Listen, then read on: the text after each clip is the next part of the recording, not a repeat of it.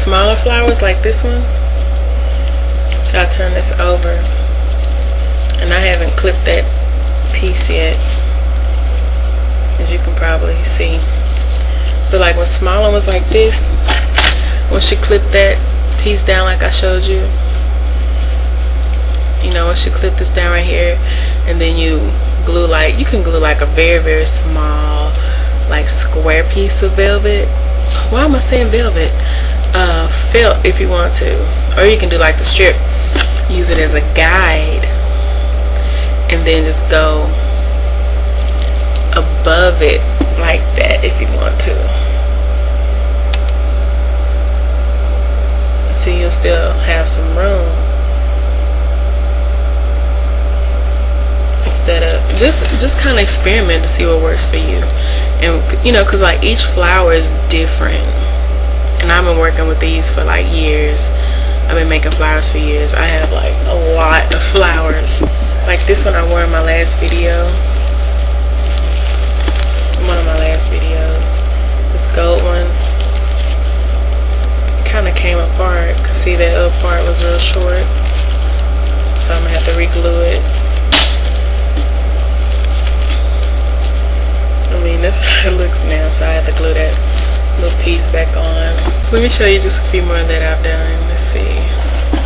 Alright, y'all. This is another flower that I made. Hate you really can't see it. See, I just glued the uh, leaf on the back of that. And you can use whatever you find, and you can just trim the end off of that if you want to. See, it has a little, that little back like that on there. I really like these backs. This was like one of the first ones I've ever did. Which was years ago. you can see I left like the leaves on there It's kind of sloppy, but it's the beginning, so hey.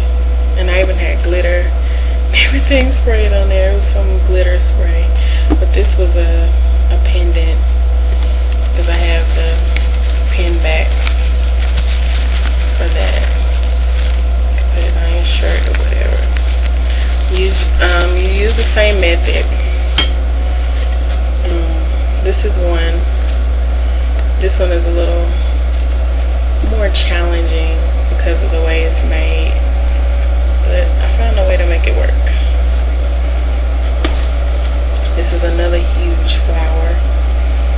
And as you can see, I didn't leave enough back here. So that came off. Well, no, wait. Yeah. I didn't leave enough right there. So I, that came off and this is like the back part. But I have to glue back on it. That's why, that's why I say you have to be careful. It's another one. One of my favorites. I usually wear them in twos. I don't know where. The, here's a. So I usually wear them in twos, like, you know, side by side like that. This is um, one that I made. Course, purple is my favorite color.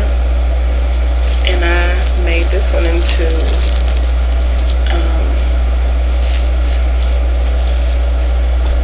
a shirt pendant or whatever you want to call it, a pendant, flower pendant, yeah. I made this one into a flower pendant because I wanted something pretty that I could wear, you know, in my cute little jackets or shirts or whatever. Just pin that up there like that. Would I wear with the flower up here? Maybe, you know, as long as it coordinates, make it do what it do. if you've seen some of my um, October 31st pictures on my MySpace page, you saw I was wearing this with my um, missionary Ugly Betty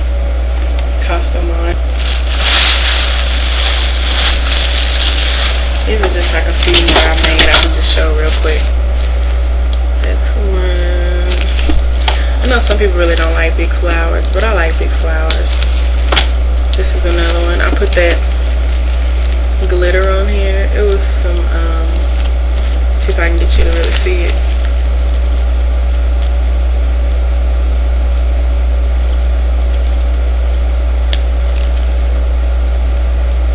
you get the idea.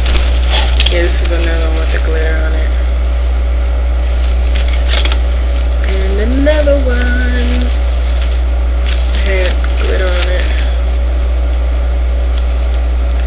Right in the center. This is a rose. And roses are kind of challenging to work with because of the way they come up like that.